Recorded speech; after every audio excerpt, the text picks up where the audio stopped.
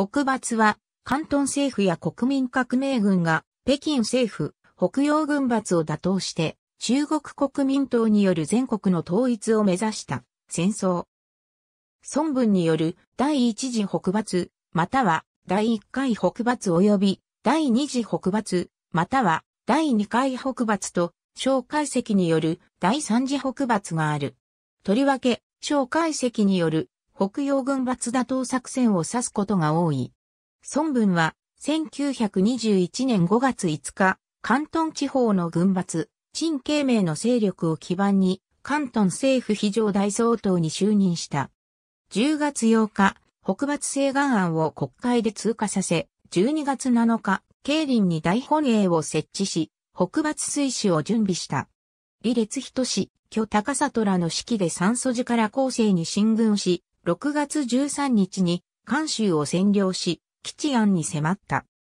しかし、6月16日、関東の安定的支配を最優先とする、陳慶明による武装クーデタ6.16事変により頓挫した。1923年2月、関東を回復した孫文は、第三次関東軍政府を組織すると、急速にソ連との関係を深め、その助言を受け、中国共産党との合作、革命軍の中核を担う人材を養成する候補軍艦学校の設立など、軍閥に依存しない自身の勢力の強化に努めた。孫文は1924年9月5日、丹野部を北伐軍総司令に任命し、9月8日、大本営を小関に移し、9月18日、北伐宣言を発した。これにこうして、10月23日、兵玉将が北京政変を起こした。孫文は、兵玉将、段木随らによる北上の要請に応じ、国民会議の開催を条件に、北京入りを決意した。平和的全国統治の機運が高まり北伐は立ち消えになった。この平和的全国統治の流れは、1925年3月12日の孫文の北京における隠しで頓挫した。孫文亡き後の国民党は、関東に国民政府を組織し、国民革命軍を兼軍する。この中で、小解析は、中山間事件を契機に、急速に台頭してきた。1926年7月1日、小解析は、孫文を継承して、軍バズ、北京政府撲滅を目指すとして、北伐宣言を発表した。北伐軍は、全国統治を望む世論を背景に、北京政府や各地軍閥を圧倒、1927年に南京、上海を占領した。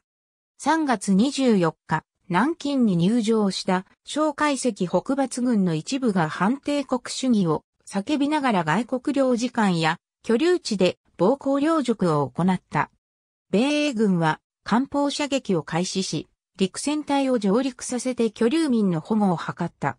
シデハラ外交の日本は領事館を襲撃され、死者も出たが、自重し、イギリスと小解析の説得工作を行った。小解析は、事態解決及び過激派の粛清を行うと、日本に伝えた。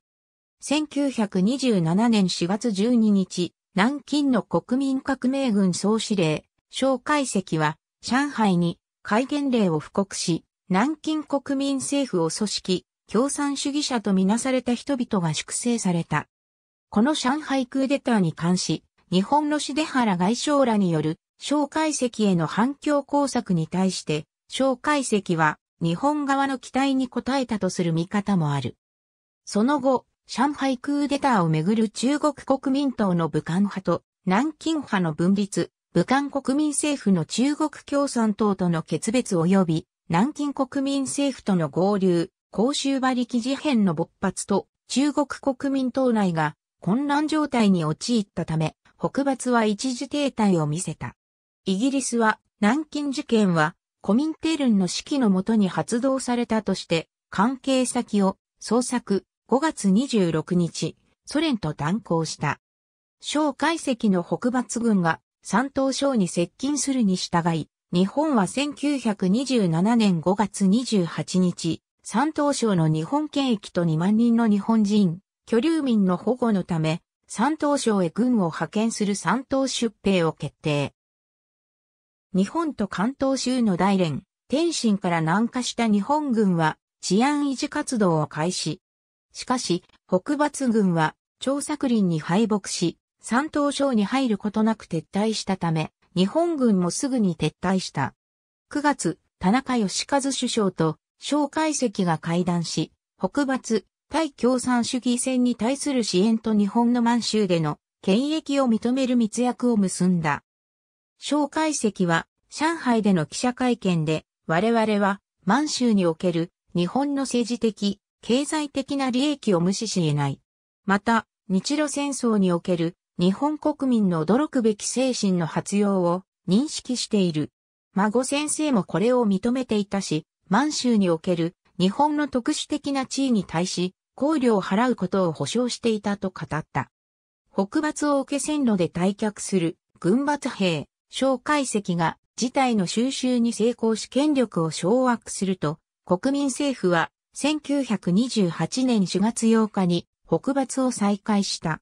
この北伐はソ連のバシーリー・ブリュヘルの下で計画された。日本は中国にある既得権益及び治安の維持のため、居留民の保護の名目で山東省に軍を派遣した。その後、国民革命軍は日本との衝突を避けつつ、延釈山、氷玉将らの軍閥を参加に加え進撃した。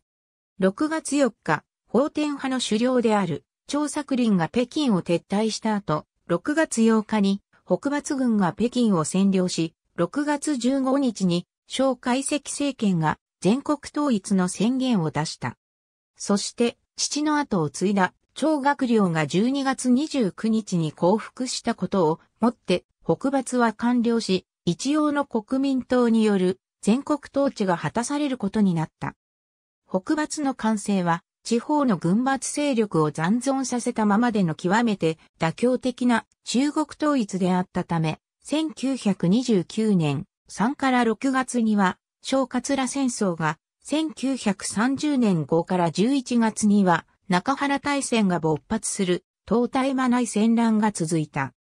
また、中国大陸の共産化を目論むソ連、大陸における既得権益を守りたい英国や日本等の思惑、中国市場の主役の座を獲得したい、米国の謀略が加わり、国内政治は常に安定しなかった。1929年7月、ソ連が満州に侵攻し、中華民国軍は撃破された。蒋介石は全国に徹底抗戦を通電した。10月にソ連軍侵攻に合わせて中国共産党が行動を開始する。12月22日に中華民国は敗北しハバロフスク議定書が結ばれ、中東鉄道はソ連の支配下に置かれ、ソ連の影響力が強まった。中華民国政府がソビエト連邦と交戦に力を注いでいるうちに、中国共産党は中国各地で盛んに活動を行った。中国兵による日本兵射殺事件も発生している。ありがとうございます。